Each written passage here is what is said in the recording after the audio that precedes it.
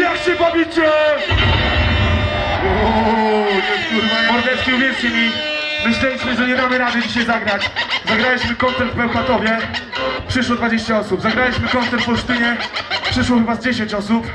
I nie będę ukrywał, że samą liczebnością ich przebiliście, ale to co się tutaj dzieje to jest kurwa legendarne człowieku. Zróbcie pierdolony hałas!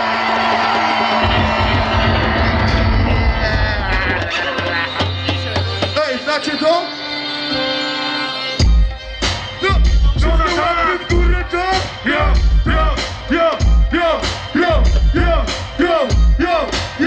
Ja czuję w sobie, ty czujesz w sobie, ja czuję w sobie, ty czujesz w sobie, ja czuję w sobie, ty czujesz w sobie, ja czuję w sobie, ty czujesz w sobie, ja czuję w sobie, ty czujesz w sobie, ja czuję w sobie, ty czujesz w sobie, ja czuję w sobie, ty czujesz w sobie, ja w sobie, Czuję jakbym miał po górskiemu przeciątku Pozbieram sobie 关注。